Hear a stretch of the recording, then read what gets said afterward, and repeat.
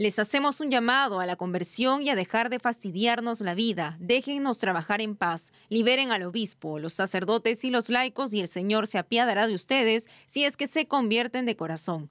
Los sacerdotes piden que se les permita trabajar en paz y que liberen a su administrador apostólico y obispo de Matagalpa, Monseñor Rolando José Álvarez Lagos.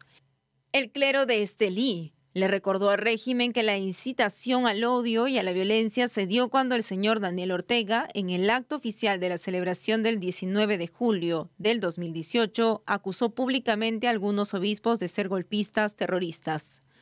Desde entonces son innumerables las veces que arrojan todo tipo de improperios, ofensas y difamaciones, ya no solo a los obispos, sino también a nosotros, los sacerdotes. Nuestra naturaleza y misión pastoral pacífica han hecho que soportáramos con paciencia semejantes barbaridades. Estas fueron las palabras de los sacerdotes de la diócesis de Estelí.